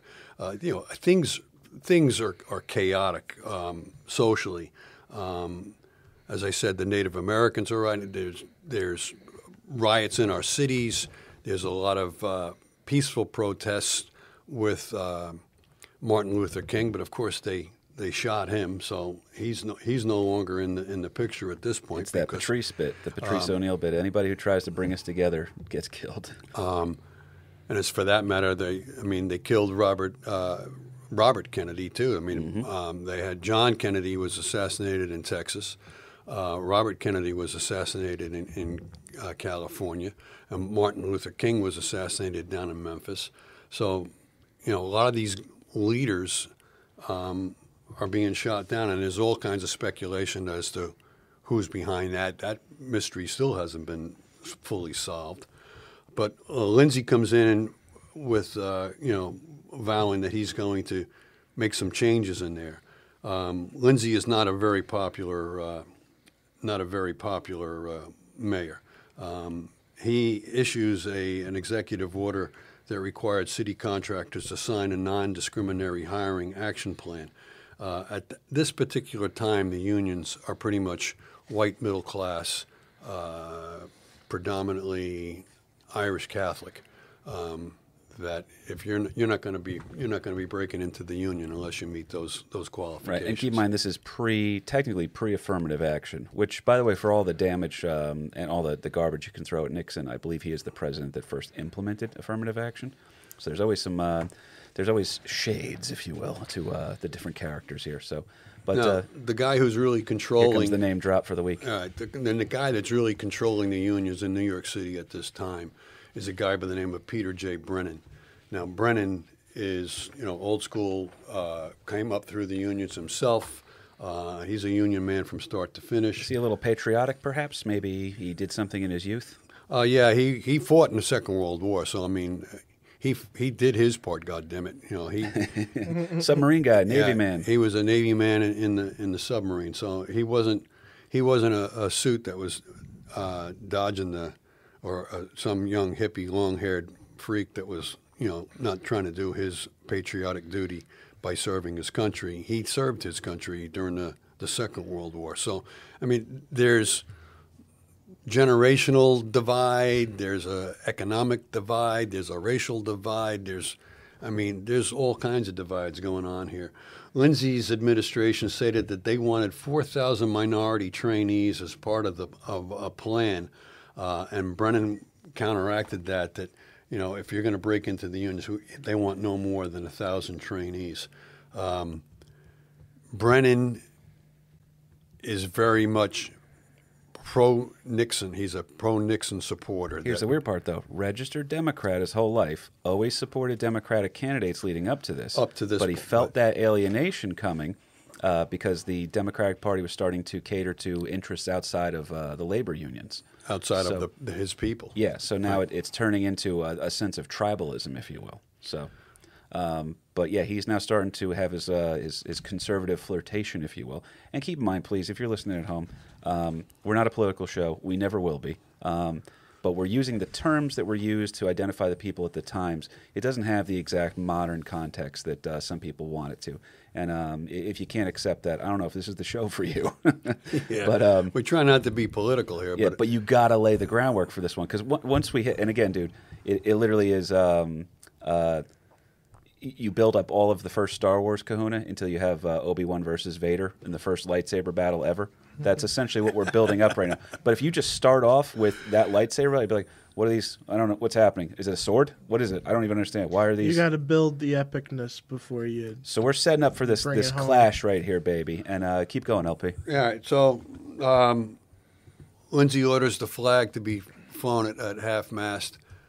Um, then there's a group of students, primarily college and high school kids, that are going to protest the war in Vietnam and to show support for the kids that were just killed in, at Kent State. And they, they numbers estimate of somewhere around a thousand are going to be protesting down around Wall Street um, and going to go take it over to uh, City Hall. Now, not all protesters burned flags, but it did become common enough that the idea of a protest meant, well, these are the kids that hate America. Right. So- and if you have long hair, they're, they're, that's your your. Uh, oh, yeah. For every virtuous, good your- citizen who is sitting there speaking a, an essentially libertarian idea of we should have a non-aggression, a non-aggression principle, Right. um, there was also like we talked about here. It's like, dude, uh, I scored this acid, and um, I mean, I, I feel like we're at a rally right now, but I could be at my house by myself. That's how strong it is. Yeah, and the long hair thing too. I mean, uh, old school. You had a crew cut. I mean, that going through the '50s and early '60s, you had a crew cut. That was that was Part the- of that was 'cause you were was the hairstyle that That, was the hairstyle that you're wearing. But now you're getting into the '60s, and in, as a symbol of your protest. Uh, what's the song? You're going to let your freak flag fly. That's uh, your long hair. That's uh, That's it, man. You're, you're, you're just freakifying. And that, that whole hippie thing really came out of the 1950s with the Beat Generation that we then later called the Beatniks. So, Ah, Kerouac and all those, You know, all, all of that type Yeah. of thing. The, uh, the uh, Bohemians uh, in Greenwich Village and, and uh, How does it feel? yeah, there you go. There you go. Bob Dylan. He's Well, a, he's a Dylan's the times they are a changing. That, Right. that you you he was writing to that group. That that's who was that the music was for, um, in a lot of ways. And then also uh, Neil Young specifically is writing about uh, the the race race riots that are going on in the country. He wrote about Kent State. I wonder how quickly. I should have looked that up before the episode to see how quickly the song um, "Ohio" came out by Neil Young post the events of uh, Kent State, which would have been interesting here. But I do want to make one point too. Protest is American. Your quality of protest can come under fire, though. So you could probably get these people to agree on either side of the aisle that Vietnam was being at least mismanaged. Okay, but the second you start shooting college kids or burning American flags and storming campus buildings, you burn that bridge to the middle ground here. So they now see you as the opposition rather than the disenfranchised uh, other side of the argument. Right. So I mean, now in New York City, you got the, a lot of the labor unions are viewing any kind of uh, protest um, as something going anti-American. Um, you're, you're, you know, they're they're linked with uh, the commies. That uh, if you're protesting the war, that means you're a communist and you're pro-communist, and we hate the commies. And uh, you know, again, we fought and died for the Second World War to free ourselves from that, and uh, here we are now fighting a war in Vietnam. And you got people telling me that we we should not be uh, fighting a war that's just un-American type of a thing. my my father fought for our country. You tell me my father's a piece of you know what I mean? That's Yeah, kind of the exactly, attitude. By the way. Kahuna just looked it up. Uh, you want to talk about how quick that turnaround Yeah, that was? was a real. I was getting four months maybe. May, no, dude. Seventeen days. He had that shit days. out Okay. immediately. Yeah, May 4th is the incident. Um, I'm sorry, not May 4th. Um, Yeah, 4th. Yeah, May 4th was the incident in 1970, and then May 21st, Kahuna just pulled up that that's when uh, That's Neil when Young put Neil out. Young uh, put out Four actually, Dead technically, that's a Crosby, Stills, Nash and Young song. Right. So, Right. um, which is, uh, I mean, that you've seen them live. You said that's a great show. Right. I mean, it, it, all the, the music No, of the that times one, too. right. That uh, you know, uh, I'm ain't, I ain't no senator's son. That's uh, you know, the, Creedence. Credence Yeah. Clearwater, and uh, everybody else. That uh, there was a, as I say, an economic divide. And going back to something you said earlier too. I mean, a lot of the things that if you had uh, enough political influence or something, you you could find your way out of the draft, just as we've always had. That you know, if you're a senator's son, you're not going to be forced to draft. Somebody's daddy or somebody will be pulling strings. Um, Grover Cle- uh, trying Cleveland to trying to get into the National Guard then was a major coup because at that point during the Vietnam War, they weren't selling, sending National Guard units over to Vietnam to fight like they were for the Gulf War and, Iraq And who, Iraq. who and got into else. the National Guard around that time frame? George W. Bush. George W. So- Bush. All right. Well, so I mean, there was a lot of uh, there was a lot of that that uh, the people that were really serving over in Vietnam were um, uh, poor white trash, right? Poor whites, poor Southern whites especially. There was a very high percentage, a normally greater percentage of blacks that were serving in Vietnam than the than the black population at the time, and uh, Spanish Americans. So, you know, the to coin a phrase here, Hicks, Spicks, and Niggs were the ones that were serving over in Vietnam. That's Jeez. that was by their own by the by their own uh, nomenclature, if you will. so That's why a good, a really underrated Vietnam flick is Hamburger Hill, um, and they, they break down the whole thing about that, where it was like we're uh, we're brothers here in the trenches, but as soon as we go back stateside, everybody's going to forget we know each other, Right. and that shit goes out the window. Now- Hamburger Hill, just for the lose, uh, listeners at home, that was a major, a major battle, a ten-day battle that was uh, nicknamed Hamburger Hill by the journalists. Uh, brutal carnage on on both sides, actually, but that was a a, a major pitched battle in in '69. So that was a major battle right before this whole Kent State thing. So things were not going well for the Americans in Vietnam. No, sir. Now that brings us to the day of the event. Okay, this is how fast we talk about how quick Neil Young turns around a song on that one, Cahoons. But this shit happened even faster, my friend. And we are wrapping up here, I promise. No, it's okay. no, it's a. By the way, Cahoon was really sad today when he came in. Then we got him laughing a little bit, and then um, you know, he's uh. He's still not coming onto our side of the glass in this laboratory setting as we're being exposed to corona. But Yeah, right. Yeah, Yeah. that's not happening That's- today, but I'm here, man. I'm sorry. I apologize. there's no relax, buddy. You're all good, man. And you uh, you accommodated us uh, uh, accommodated us a bit today. So The topic's not exactly uh, laugh a minute either. no, with, uh, no, we're gonna sneak some jokes dying, in. but I yeah. got jokes. All right, Uh, okay. So May eighth, New You York do City. now. That's uh, the president of the Building uh, Construction Building and Construction Trades Council of Greater New York. Again, Peter J. Brennan. Not quite Tammany Hall, but still very powerful. Um, he is going to organize um, a counter protest because it is announced shortly after Kent State that anti-war protesters are announcing that they are going to be organizing. You guessed it, a protest in order to commemorate the students who were killed, arguably murdered, uh, near City Hall in New York. So they're going to be right outside of Federal Hall. Um, Coons, if you could bring up, uh, do you know uh, how familiar are you with New York, buddy? You know that that statue of George Washington out in front of, uh, I think it's Federal Hall. So if you want, yeah, that that one's um, interesting because that's where this shit all went down today. Yeah, they announced that they're going to hold it on the corner of uh, Broad and Wall Street. So Okay. right in the middle of, you know, economic uh, ground zero, economy ground zero for the United States with Broad uh, um, Wall Street. Yeah, it almost looks like uh, this should be the building that Bane comes out of at the end of uh, The Dark Knight Rises. Is So you've come back to die with your city. Shit, the- the protest been filmed in was- the. The protest was formed really to demand an end of the war in Vietnam and now Cambodia. Into the mic, sir. the, the protest was announced to to demand an end to the war in Vietnam, They had a cause for sure. and sure. now Cambodia because Nixon just put us, put troops into uh, Cambodia, so he's going against his campaign promises. What a what a unusual set of circumstances for a pol- politician to go back on what he promised during his during his campaign. But uh, and the release of uh, political prisoners in the U.S. and an end to uh, military or related research on all university campuses. Um, so this was announced, and they're forming up in Wall Street. And then about five minutes before noon, approximately 200 construction. Now the Well, crowd. hang on, hang on, real quick. I want to set up one thing. Okay. I- and because we're we're getting good. The now you you want to talk shit about the the quote hippies, if you will, that they're lazy and everything. The protest started at seven thirty in the morning. Okay. and they're still there. Well, at seven thirty in the morning, they're they're getting up and they're going. All right, and uh, mostly college kids, some high school kids. Uh, the protest gets underway. Like you said, they had very clear uh, goals. They wanted the freedom of uh, political prisoners. They wanted uh, uh, a ban on military research on college campuses. Okay, and then they also uh, wanted, obviously, the end of the war in, in both Vietnam and Cambodia, as you said. So now, um, as their numbers are nearing the thousands, they're moving towards Federal Hall in Manhattan, underneath the statue of George Washington. Okay, and uh, I mean these, Dad, these hippies are everywhere. There's a, a drum circle's about to break out at any moment. I mean, we don't know what we're going to do here. they're getting ready. Their their anti-American ideas are happening. I mean, who who's going to step in here? Who's going to challenge these guys?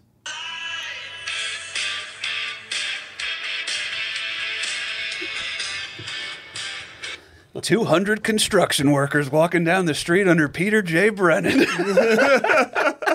I've been waiting the entire episode to hit that soundbite. I'm so sorry, but Oh, it's all good. you can't not see it that way, you know. And we're gonna ask. Um, uh, Cahoons will keep the, the volume down on the video, but if you search hard hat riots on YouTube, there's like a minute and eight second clip that shows you the legit violence that's breaking out that we're covering right now. So these workers, about 200 of them, waving American flags. Their numbers started to swell, by the way, because there's people on lunch breaks coming off of job sites to come march with them. And anybody else who's just tired of like the flag burning, kind of the counterculture types, they start walking along and they're protesting USA all the way, love it or leave it, that kind of a thing, you know. Uh, they took our jobs. I mean, anything you can think to start screaming at these people. But and uh, you know what? I think too. A lot of the sentiment too was to show support of those guys who were serving over there. Yes. That if you're, it, it almost became if you're anti-war, you're anti-military, you are anti the grunts on the ground who were bleeding and dying for this whole thing. That right. Well, they like didn't said, have the victim here in nuance. right. absolutely, absolutely. So Um, But yeah, so now these 200 construction workers can converge on these guys, and there is a police line that was set up, a very, a very thin police line that was supposed to separate the two opposing sides, if you will.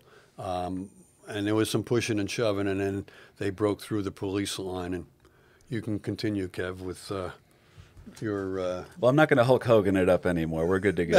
Anyway, but uh, yeah, so the construction workers are coming through. They start pushing up against the police line at first, so it's kind of a little shit talking.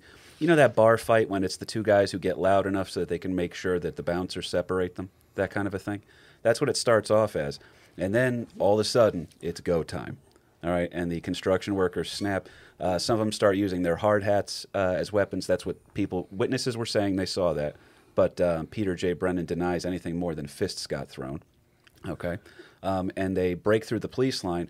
Break through or are allowed through, depending on who you're talking to. Most of the cops were sympathetic to these guys because Lindsay, again, not a popular mayor. Uh, we have a caveat for his final little end here, too, because um, uh, Lindsay uh, uh, earns the ire of the NYPD forever. Um, but uh, as uh, Kahuna's pulled up the, the footage here, you can see it, buddy. Are we? It, do you feel better now that we, we set the groundwork before that fight? Because we just showed you that fight, you'd be like, "What happened? Did the did the Pistons win the NBA conference final?"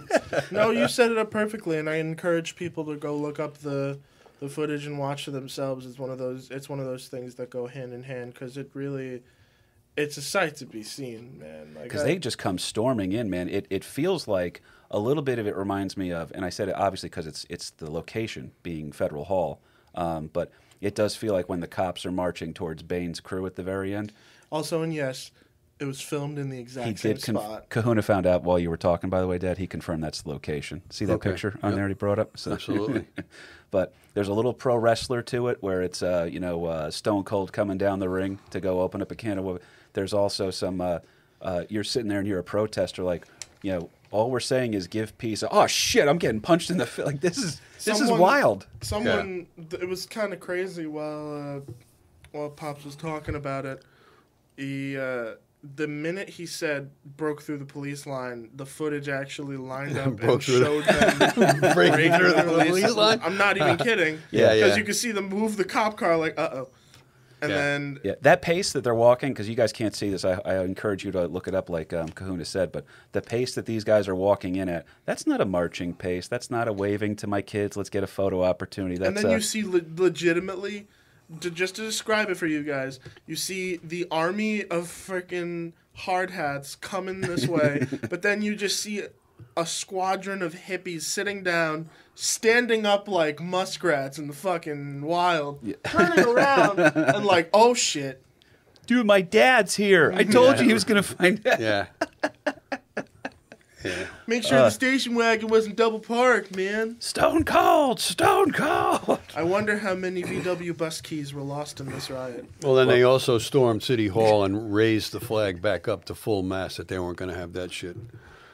Nobody's going to lower the American flag to half mast. now, a, a, again, another thing that happened in um, The Irishman. Remember, Hoffa ordered that the flag be raised to the top, uh, ignoring the death of, um, uh, was it? I guess it was JFK.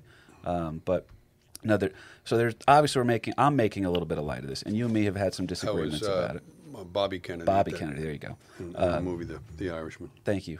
Um, but uh, so you and I had a couple disagreements about this episode because I'm finding some humor in it because I'm viewing this as an episode of South Park. So that's kind of where I and I'm not emotionally connected to it because obviously I didn't live through it. But that you can't paint these guys in a, a heroic picture here because um, as they're breaking through this police line, they are roughing up people who are well within their rights to be protesting.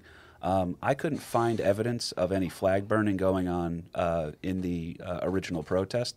So it's not like they saw the flag burning and that's what enraged them. And they were organized because Peter J. Brennan did want it to be a quote pro war or pro um, uh, Nixon um, event. Now, the other thing too is that once they break through the lines, they start specifically. There's people on the ground who heard this.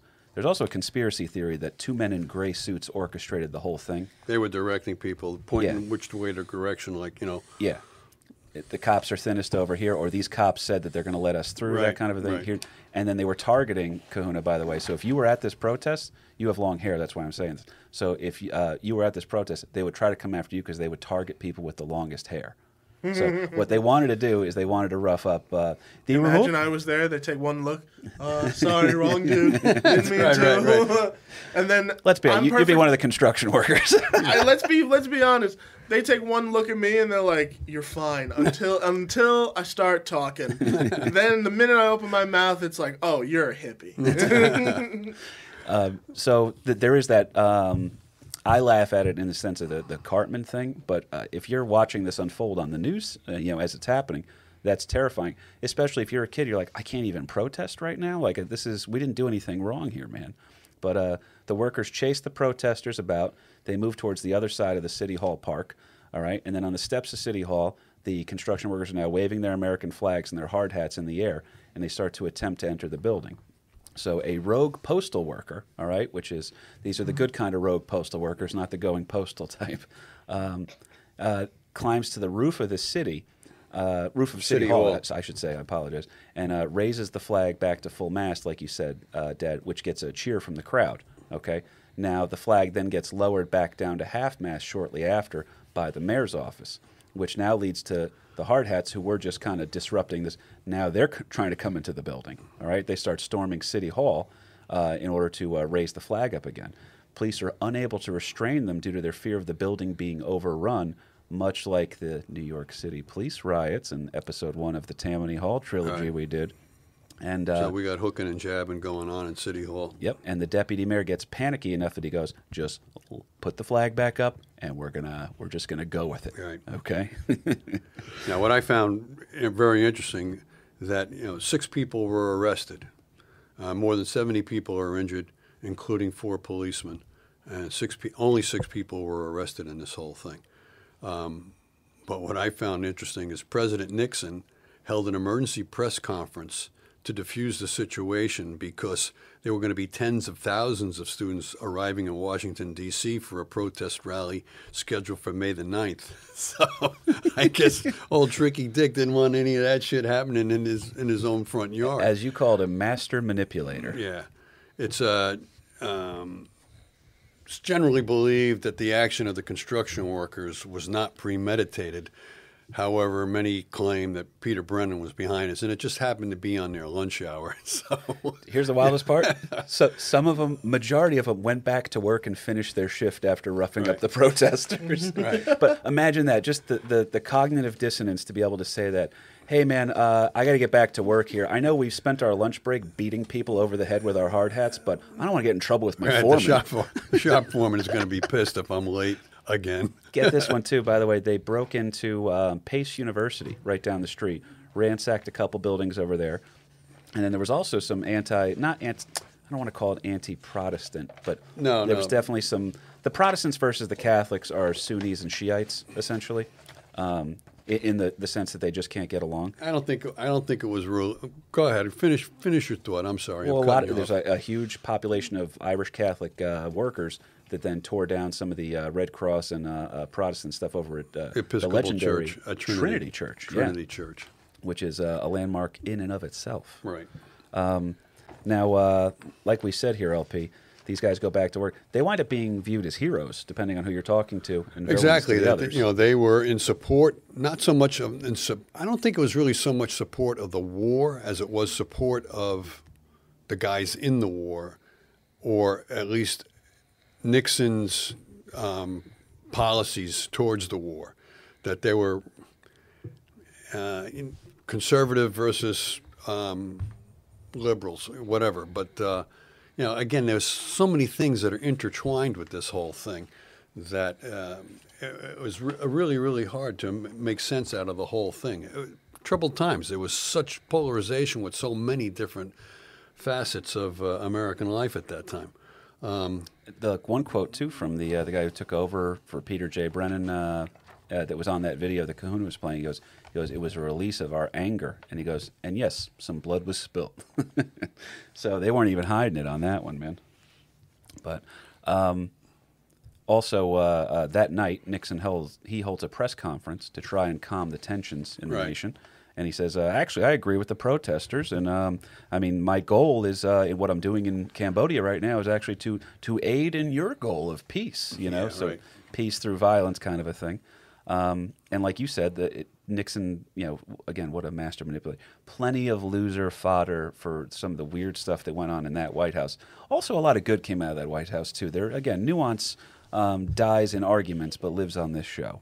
Um, so, uh, Mayor Lindsay condemns the violence, okay, um, comes down hard on the rioters, and then even comes down even harder on the police response, which then pisses off the NYPD leaders who take offense to the mayor's remarks. They are stating that the mayor has now undermined the public's confidence in the NYPD and that they had gotten misleading directives uh, in the last couple of years from him.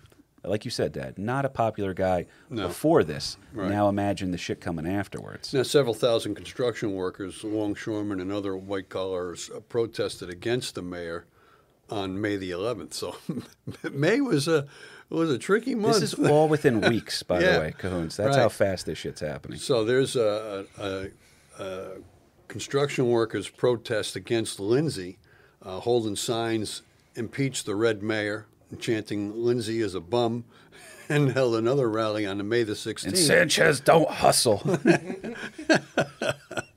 and May 16th, carrying signs, uh, you know, saying that the mayor's a rat, he's a commie rat, he's a traitor. Uh, you know, is he is he pro union? I don't think so. This is like that But, uh, time frame when you'd say you'd say somebody. These are the kind of dudes that when you say their name, they spit at the end of the sentence. Oh, Lindsay, that bum. That's right. So- that bum. So that's May 20th. Another rally is held here, like you said, um, that uh, unopposed by the uh, the anti-war protesters. So the um, the college kids aren't exactly looking to, to throw down with the construction workers, especially in the numbers that they now had at 150,000. And they walked down the streets of uh, New York City, and people who saw them, who were still considering the hard hats to be heroes, um, actually showered them in ticker tape. So it was almost like they had won the Super Bowl and they were coming back home. You know, they were a couple floats shy of uh, you know a, parade in that sense. But um, a lot of supportive onlookers. Now, here's the the craziest part. Um, I don't. I almost called him by his uh, his, his legit first name here, but um, and and devotees of the show have figured it out. But uh, Cahoons, if you had, um, you know, I, if, if you organized street violence, okay, you would understand that perhaps you'd want to keep a low profile afterwards, right? Mm-hmm. Most definitely. So uh, on May 20th is that other rally here, okay? That was On- a pro. That was a pro-war. it's a pro-war rally. Right. Now on May 26th, Peter J. Brennan, the man who orchestrated what erupted into the He hard didn't lay hat low, riots. did he? No, no, no. Well, it was He tough wasn't to- that kind of guy to uh, He was be uh, the shrinking violet and blend into the wallpaper. What do you do? Meet with the of guy. president? Are you kidding me? Absolutely. So, May 26, Peter J. Brennan is invited to the Nixon White House along with several other labor leaders, where they presented President Nixon with an honorary hard hat. So, here is uh, here's the symbol, and, and it became a symbol, and that was a rallying cry for um, Where's to, the hard hat now? to con. Uh, That sounds like it would be in a museum somewhere. Shit, where's Nixon right now? you know, that's half his memorabilia is. Uh, uh, I would be curious what happened to most of it. Um, but so uh, he winds up meeting over there, and uh, Chuck Colson, who was known as uh, Nixon's Hatchet Man, which, by the way, if out of the the crew that Nixon liked to hang with, if you got the nickname the Hatchet Man, you got some blood on your hands, brother. You could, that's a, a that's a conniving kind of a guy here. When you can uh, you can you know out Kissinger Kissinger, but. Um, he was the advisor and a, a campaign, uh, uh, part of the campaign for reelection. Um, For Nixon's for Nixon, reelection. correct, which is coming up in 72. So this is two, two years into his first term. He's already starting to think about uh, getting elected again, and he needs to have something to rally people behind because he already broke half the promises that he kept uh, on his initial thing, like you pointed out, Dad. So uh, Chuck Colson identifies Brennan as a friendly, and Nixon would meet with him privately several more times, which leads to Brennan, again, a registered Democrat at the start of this story, fully endorsing and supporting Nixon's reelection, delivering a lot of the Union votes for him in order to get Nixon reelected. And then, of course, once Nixon was reelected, because you got to take care of the people who take care of you. You know what I mean? Uh, he gets himself a little position in Nixon's uh, cabinet as the new Secretary of Labor. So he organized street violence, depending on who you talk to, organized street violence um, in uh, in the streets of Manhattan in you know broad daylight, and then gets awarded with a post in the presidential cabinet that he would then hold into the Ford administration. Right. So so he was the first pimp in the White House, essentially. No, I, I Oh, wouldn't way, go dude. that far. I don't, mean, I don't think been- we haven't had anyone who wasn't a pimp in the White House. It- imagine that you wake up one day and you're like, you know, it'd be great if everybody listened to me. This is crazy, man. well, Yeah. How is this not something that's uh, well taught more a little bit? this seems like because. I've never heard of this ever. I, this is literally the first time I've ever heard of. I thought it was a Hard Hat joke when I first came. I came upon this maybe four or five years ago. Just just casual wormhole Wikipedia stuff. Now, uh, I'm when we end this one shortly. Um, I do want to throw to you for a casting couch. So start thinking about a Peter J. Brennan type person. Peter J. Brennan. All right. Um, LP, you did a tremendous amount of research here.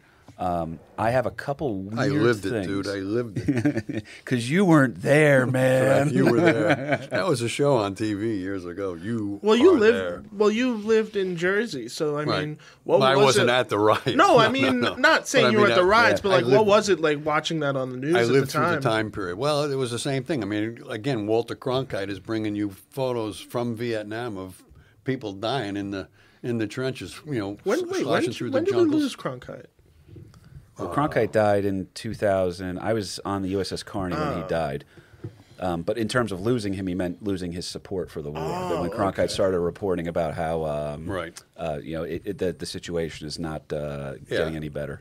And that must have been As I said, as I said earlier, the, the Tet Offensive was really the a major turning point because we weren't just fighting guerrillas in the in the bush.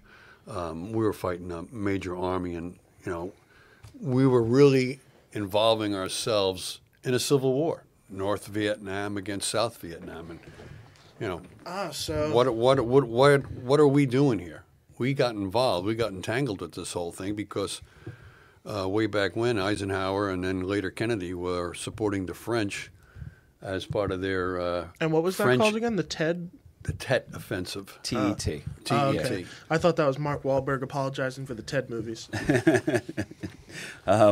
It's uh, I, I'll, I'll tell you off air some weird stuff I found out about Wahlberg recently too. But um, I obviously Animal House, one of the uh, the greatest comedies of all time, has those uh, the iconic ending where it uh, it shows the people, the characters individually, freeze frames, and then says what they got up to afterwards.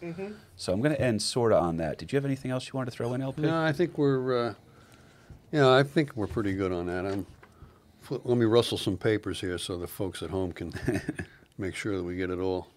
Well, um, I'll tell you what I'll do. Then I'll start uh, going on here. So Uh, You know, uh, one thing. Hit me. Um, one of the positive. I mean, there was many, many positives. The, the '60s was not totally a dark period with riots and protests and everything else. I mean, in 1969, finally in July, we have some. You know, Neil Armstrong and, and Buzz Aldrin putting for the U.S. a man on the moon. We won the space race, if you will. We were the first to get somebody on the moon. There were many, many uh, positive things that came out of that out of that decade, but. Stanley there was Kubrick's also making movies. there was also better a lot worse? of a lot of negatives going on too. But yeah, and then also um, we uh, you know a return to uh, the World Series for the New York Yankees. That was part of the part of this whole thing too. Um, a major player in what turned people around about how we got to get out of Vietnam was Martin Luther King. I mean, he made many speeches about um, we're spending you know all this money in Vietnam, getting ourselves involved with death and destruction to somebody else's civil war. Meanwhile, we've got people at home that are are uh, in a very bad off, uh, poor economic straits. That, you know, again, Johnson was trying to uh, found the, the Great Society in his terminology, um, at the same time fighting a war in, in uh, Southeast Asia, and there were many felt that uh, you know that would be instead of spending money on the Vietnamese, let the Vietnamese figure out what they want to do, whether they want to be communists or not. You know, What's that term domino you used earlier? domino theory be damned. Let's uh, let's take care of our own kind of a thing. So Off, uh, you mean you want to take your hands off the situation? Perhaps laissez-faire, as we laissez-faire, were talking yeah, about right, earlier. Right, right. So, um, Big appreciation on the research you did on this one, by the way. Uh, we got him fired up. We got him fired up on this one. Um, but uh, I do want to hit a couple other notes here just on the way out. Um, so, of course, we, we've covered this story. Um, the hard hats get remembered. Uh, they, they were heroes for a day, if you will, getting reported uh, well on the news. And um, uh, people were, uh, if you were part of the riots or if you were a hard hat guy, then your lunch got bought for you the next day, that kind of a thing. So people were taking care of you. Um, and then, um, there's a, some fallout from this. So uh, obviously, the Vietnam War would continue for another five years, ending with the fall of Saigon, the iconic uh, imagery of the last chopper taking off. Um, Nixon would become involved in the Watergate scandal that would tarnish his reputation and lead to his resignation as the President of the United States. As of right now, first and only guy to ever quit the presidency. Resign. It, we're, we're using. Uh, That's it. I'm done. I'm yeah. out. Well, uh, screw you guys. I'm going. Going home. Um, Turn the lights off. Yeah. Uh, Mayor Lindsay would become public enemy number one of the NYPD following the riots and his creation of the Knapp Commission, which investigated corruption in the NYPD following the reports of a certain one Frank Serpico, played by Al Pacino in the movie Serpico. There you go. All right. Um, Mayor Lindsay uh, was also, he became such a villain to the NYPD because of the investigations. He was told not to attend NYPD funerals, and if he chose to, he was heckled and booed by the cops in uniform and especially their spouses. One spouse in particular uh, told him, I do not want you coming to my husband's funeral because he died in the line of duty. Um, but uh, this would actually lead to Lindsay then switching parties. Okay, so he now bails on being a liberal Republican, makes the shift over to a Democrat. And again, throw out the terms. It doesn't mean anything here. But it is important that he makes the jump. That's what we're trying to say here.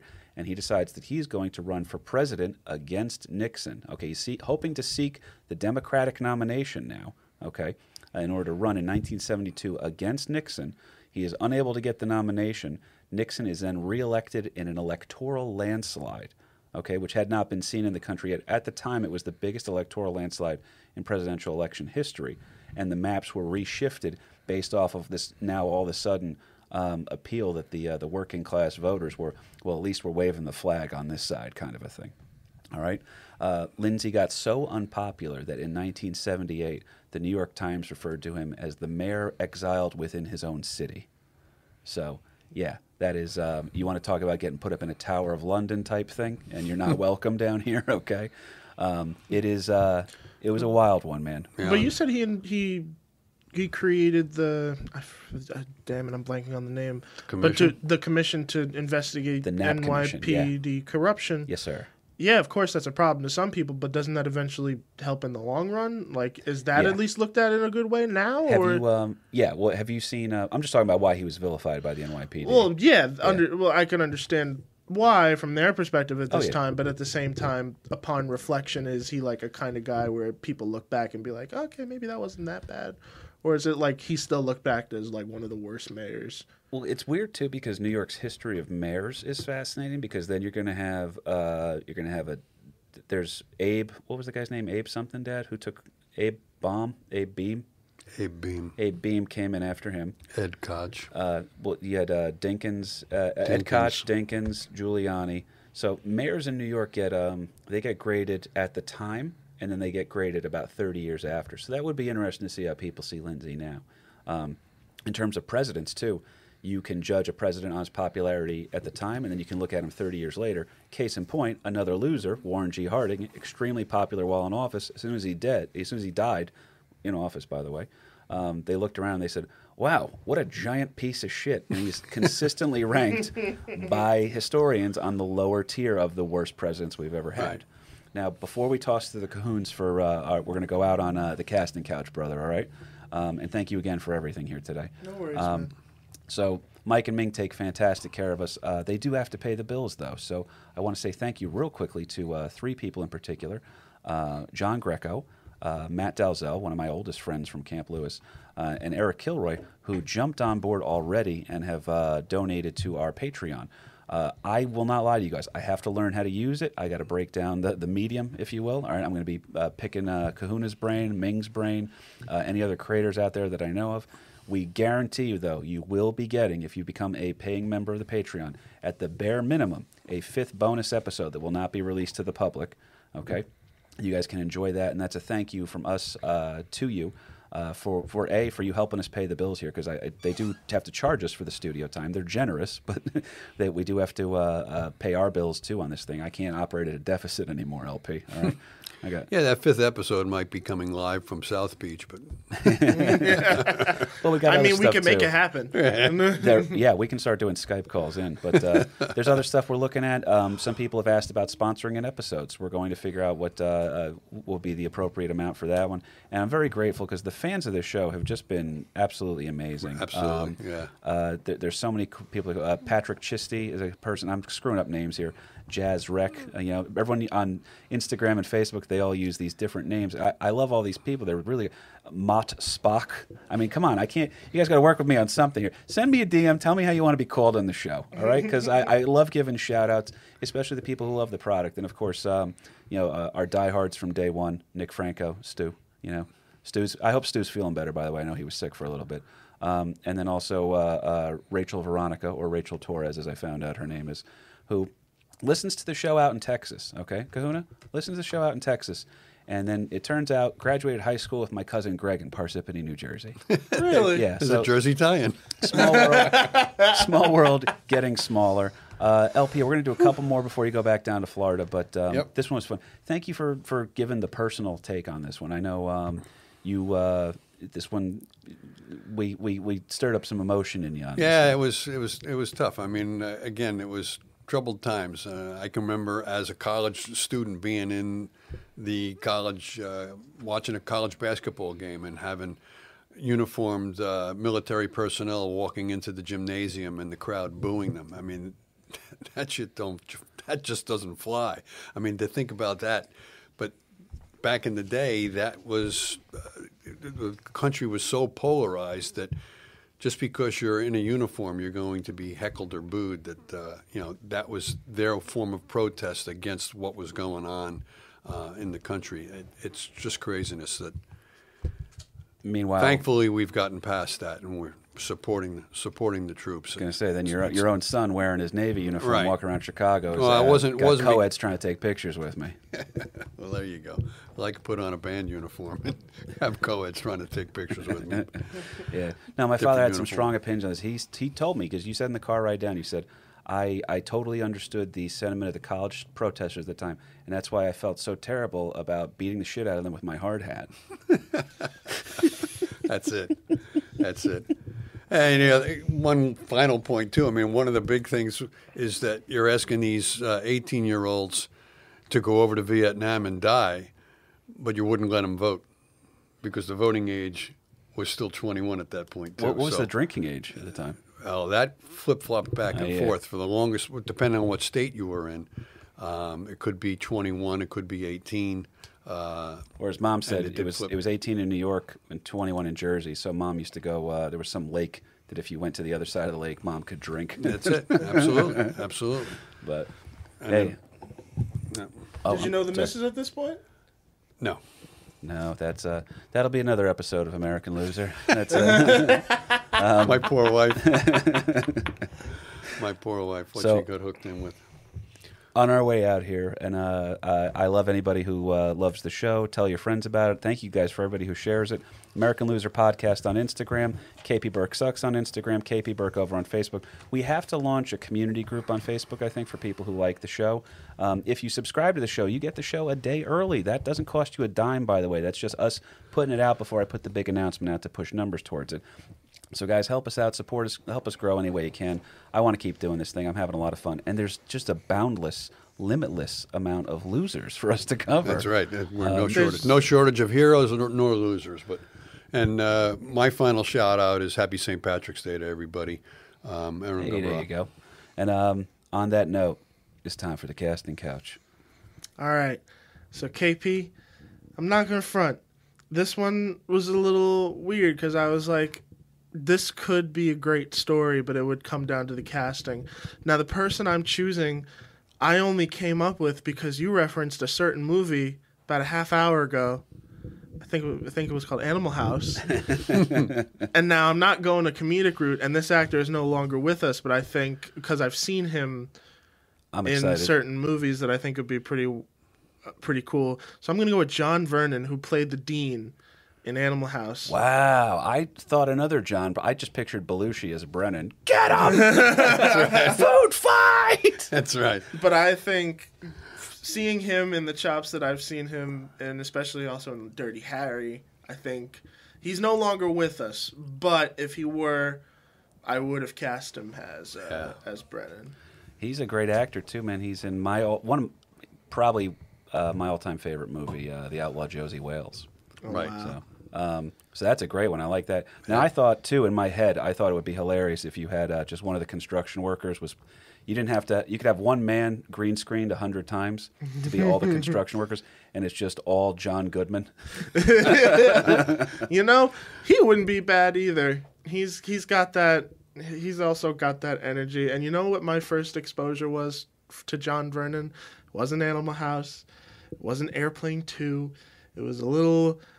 A little tiny Disney movie released in 1980 called Herbie Goes Bananas that Big Kahuna watched when he was maybe t- like five or six years old.